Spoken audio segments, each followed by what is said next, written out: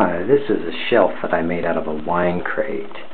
Um, you can find these damn near around any liquor store uh, trash and basically you just screw it to the wall and that becomes a shelf.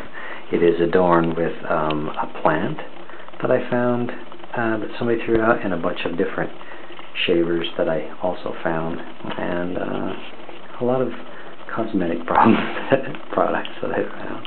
Cosmetic problems. So there it is, the beautiful shelf. I put uh, three screws in the back.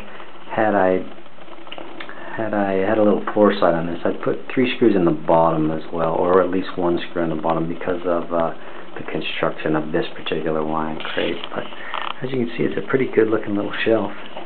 Sits in my bathroom, there it is.